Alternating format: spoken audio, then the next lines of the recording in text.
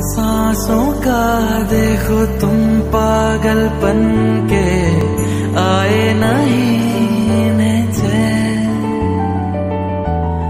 मुझसे ये बोली, मैं राहू मैं तेरी, अपने बिछा दूँ ये नहीं